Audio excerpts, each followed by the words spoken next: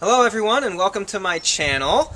Uh, for today's video I've decided to go outside as you can see uh, in light of the fact that guess what? It's spring! There's leaves on the trees now and the flowers are blooming. It's fantastic. So uh, it's actually about 70 degrees out here uh, which is uh, about 21 Celsius I think give or take uh, for those of you who use that. So it's absolutely it's actually a little bit too warm for me. It's flaring my symptoms up a little bit, but uh, it's not terrible, I guess. So hope you can all get outside and enjoy the weather. Anyway, uh, in lieu of the temperature and the wonderful season, I decided to make a video about one of my other projects that I've built that happens to be right next to me at the moment. So, uh, as you remember from my previous video about the solar battery backup lighting system, um, I have a huge fascination with alternate energy, wind power, solar power, all that sort of thing. And I was actually an environmental science major in college.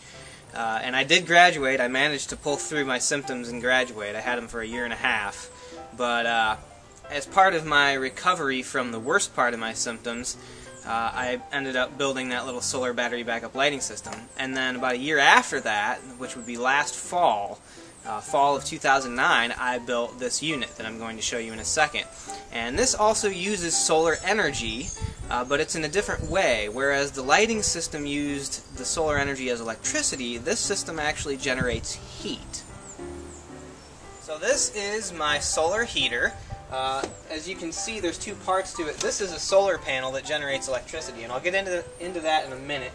Uh, but this here is what I built, and it's a very simple construction. It's just made out of 1 by 4 inch pine uh, as the sides of the box, and then the back of it is quarter inch plywood, um, and there's a little stand that I've got it on. But inside of the box, there is half inch thick uh, rigid foam insulation. It's like the pink or blue stuff that you see. And I wrap that in aluminum foil. And that lines the back and also the sides of the box. And then the main part of the collector is actually these columns that you see right here, which are actually made out of beer and pop cans uh, that have been friction fit together to form nice columns. And then those were spray painted flat black with a high temperature spray paint so they'd absorb the sun's energy and those get headers attached to the top and bottom and then that was inserted into the box at which point I then caulked around all of the top surfaces and laid a sheet of 8th inch plexiglass on top of it. And that's really the majority of the collector unit. Now there's a hole in the top and the bottom in those header units that lets the air go in and out of the collector. But that's pretty much it. So the way this solar collector works is the solar panel that's on top here actually goes into the house and connects up to a blower unit that blows air from inside the house through a tube into the bottom of the collector here. And you, you can't see that, I apologize. The flip camera has a very narrow field of view, so I can't fit everything in. But uh, suffice it to say, the header that is up here, right here, this, this open area, it's just like that at the bottom. So the air flows into that, and then because the headers are sealed, as you can see here, all around with caulk, the air has nowhere else to go but through the open columns. So the air flows from the bottom up through the columns where it collects all the heat, then pools in the top header, and then goes back out and into the house.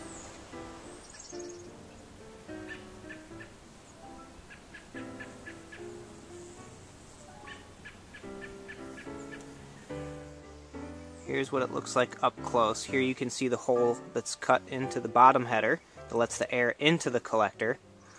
And in order to provide an outlet, I actually took a can, just a soup can, and cut the edges about half an inch in all the way around and flared those out and then inserted that into the hole in the back of the box and that served as a hookup for my dryer vent that I'm using to pump the air to and from the house.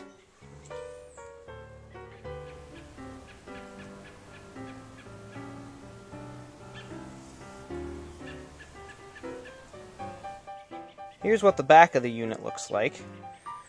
You can see the dryer vent that I have wrapped in insulation and aluminum foil and plastic and duct tape. um, and I obviously would not want to do that if I was going to permanently install one of these, which you can do. You just cut two holes in the walls of your house and put the solar collector right flush onto the wall. So there wouldn't be any of this ugly tubing if you did it permanently. So here's the bracket that I built for the unit to go in and out of the window. As you can see, there's the tubes going from the collector to the house. And all this bracket actually is, is a piece of wood uh, with a rigid foam insulation backing, the same kind of insulation that I used in the collector unit actually. And then I just have our window set down right on top of that with this other piece of insulation there to, to provide a little bit better seal.